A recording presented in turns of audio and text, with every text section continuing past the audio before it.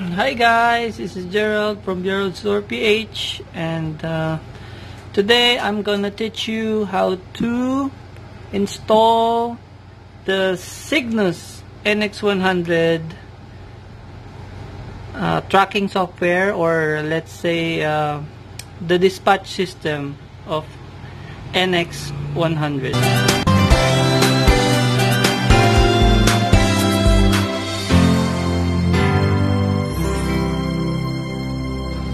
Alright, first we need to install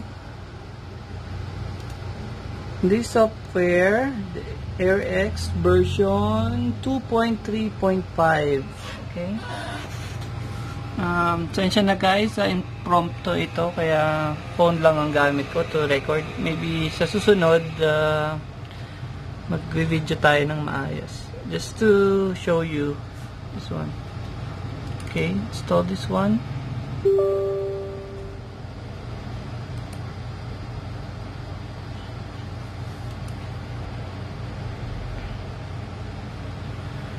Finish. Okay, dapat pala guys, meron kayong Internet Explorer. So, kasi sa Internet Explorer siya papasok. Right? Na ang version ng Internet Explorer ko is Uh, version 11.6 yan. Internet Explorer 11, right? Tapos dito, uh, check English, click English. Alright. Uh, put your username and yung password. Yung username and password, same siya dun sa ating uh, ginagamit na ano, na management software dito sa ating management software. Alright. Management system. Is um, yan. Pag na-input nyo na ang inyong username and password just type this one. Yung alright login. Yan so kung nandiyan ka na yan makikita mo na lahat ng ano mo yung uh, bali ang, ang naka-open sa akin yung ito itong sa office. So hanapin natin yung sa office. Ah, ito dito siya sa ngayon sa Olonga po. Na makikita nyo yung nasan siya right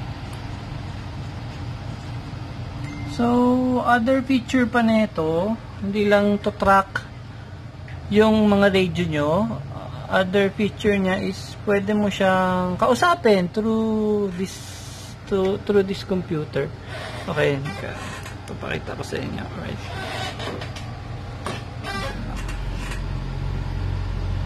Mag-feedback kasi. Okay.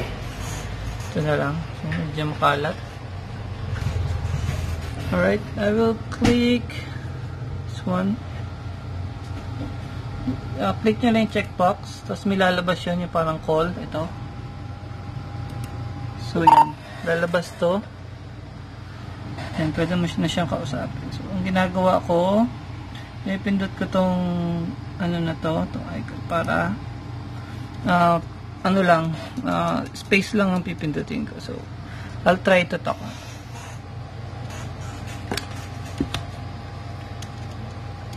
Radio check 1, 2, radio check 1, 2. Yeah, medyo nagpi-feedback siya kasi malapit ako sa computer. So, uh, ito yung pinaka-mic ko. Ito lang. Then, uh, pwede siyang sumagot. In this one. Radio check 1, 2, radio check 1, 2. So, parang ano siya, naka naka call mode siya. So. Uh, ang prob ang ano lang dito is uh, hindi pwedeng mag-initiate yung radio to call the dispatch. So, ang unang mag-initiate dapat is yung dispatch. Pwede siyang mag ano, mag-call ng ano, hindi lang isa.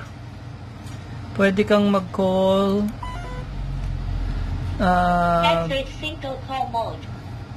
Kunyari, 1, 2, kunyari dalawa. Yan. Pwede siyang mag ano, dalawang tawagan mo. So, yun. Ano yan? Group, group call. Alright. Uh, Bali, yun lang muna for now. Yung pag-install. And also, yung tinry ko lang i-demo yung yung yung ko ano niya, yung dispatch calling. sa susunod, siguro yung about sa ano, sa ito, itong ibang pictures dito, yung recording, submission, broadcasting, at yung fencing. Yung fence, ito yung pwede kang mag, ano, pwede kang mag para hindi, uh, what do you call this, uh, meron siyang hangganan, may limit. Pag lumagpas siya doon, yung radio, mag-a-alarm siya na nandito yung ano, So, ayan yung mga user na ano, nakikita sa ano. Natatrack ng GPS. So, yun lang po. Uh, this is uh, Gerald from Gerald Sor PH. Uh, until next time. Bye-bye.